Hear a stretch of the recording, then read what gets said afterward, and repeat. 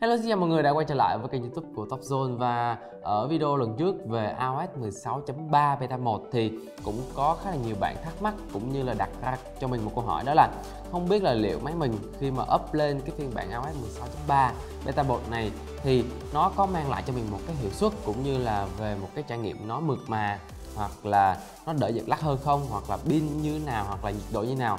Thì ok, trong video ngày hôm nay thì mình sẽ cùng nhau chia sẻ cũng như là đưa ra những trải nghiệm cá nhân của mình khi mà mình đã lên cái phiên bản iOS 16.3 beta 1 này được một khoảng thời gian. Vậy thì những cái trải nghiệm đó của mình là như thế nào? Hãy cùng mình tìm hiểu ở trong video ngày hôm nay nhé bắt đầu.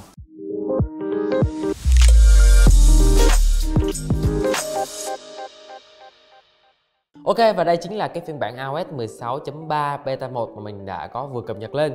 Thì về những cái tính năng mới nè, cũng như là về những cái phần vá lỗi mà Apple đã dành cho cái phiên bản iOS 16.3 beta 1 này thì mình đã có chia sẻ ở một video trước đó rồi. Thì nếu như mà các bạn muốn xem lại thì mình sẽ uh, để đường link ở phía bên dưới các bạn có thể bấm vào và xem lại những cái tính năng mới đã xuất hiện ở trong cái phiên bản iOS 16.3 beta 1 này nha. Còn trong video này thì mình chỉ muốn chia sẻ cho bạn những cái trải nghiệm của mình khi mà đã có cập nhật lên iOS 16.3 beta 1 này nó có được một cái hiệu năng xử lý ra sao nè.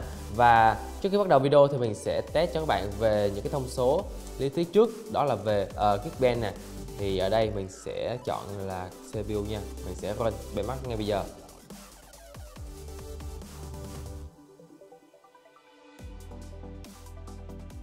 Rồi ok, sau khi mà mình đã có test xong thì kết quả mang lại cho mình đó là điểm đơn nhân sẽ là 1594 điểm còn điểm đa nhân sẽ là 3950 thì mình sẽ bắt đầu so sánh so với cái phiên bản thế hệ cũ nha.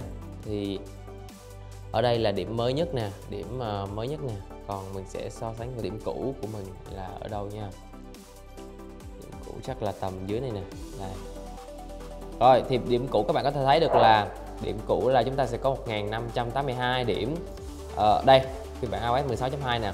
Điểm cũ sẽ là điểm đơn nhân là 1582 điểm còn điểm đa nhân là 3865 so với cái điểm mới này là Ờ, uh, 1594 so với 3009 thì nhìn chung là cái phiên bản iOS 16.3 này Apple đã có cải thiện về về mặt hiệu năng nè về cái điểm số đơn nhân về điểm số đa nhân. Tuy nhiên thì đây cũng chỉ là một cái con số mang tính lý thuyết mà thôi và uh, giữa hai con số này thì nó cũng không có chênh lệch nhau quá là nhiều cho nên là chúng ta sẽ không thể nào mà đánh giá là cái phiên bản iOS này nó tốt hơn nhiều so với cái phiên bản iOS trước kia rồi tiếp theo thì mình sẽ chuyển qua với cái phần test về đồ họa. Thì mình sẽ test ở đây đó là 3D Max rồi ok mình sẽ bắt đầu nha. Extreme nè. Rồi mình sẽ bắt đầu bằng bài test này.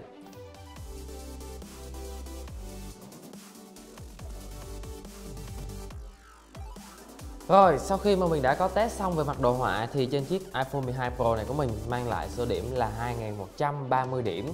Và cái mức khung hình trung bình sẽ là 12.8 thì các bạn có thể thấy được là cái biên độ dao động ở đây nè. Đó nó lên xuống khá là nhiều. Nhìn chung thì uh, con số FPS này thì mình đánh giá là nó nằm ở mức gọi là ổn và không có gì đáng để có thể gọi là um, phàn nàn về cái phiên bản iOS 16.3 beta 1 này cả. Rồi ok sau khi mà mình đã đi qua hai cái bài test gọi là mang tính lý thuyết thì mình sẽ tiếp tục qua một cái bài test về chơi game. Nó sẽ mang tính thực tế hơn. Thì tựa game đầu tiên mình chọn đó là tựa game Liên Quân Mobile. Ok thì đây mình đang ở trong một cái trận của ờ, Liên Quân Mobile thì uh, cấu hình mức đồ họa mình để là mình để full setting luôn. Thì các bạn có thể thấy được là cái mức FPS ở đây nè nó dao động khoảng từ 59 cho tới 60 fps thì đây theo mình đánh giá đây là một cái mức fps tương đối khá là cao và trong quá trình mà mình chơi thì mình không hề gặp tình trạng giật lắc nào cả. Mình chơi rất là mượt mà nào đó mình không chịu. Sợ. Đó không hề có hiện tượng bị khựng không hình luôn. Kể cả khi mà địch nó dùng hiệu ứng đồ họa này tung chiêu ra đủ kiểu luôn mà hình ảnh vẫn rất là mượt mà. Mình sẽ chơi cho tới khoảng tầm phút thứ ba là mình sẽ off nha. Off để chuyển qua tựa game tiếp theo. Rồi ok tiếp tục. Đó mình lên combat này đó mình ra, ra đạn quá trời luôn không hề bị khựng chút xíu nào cả.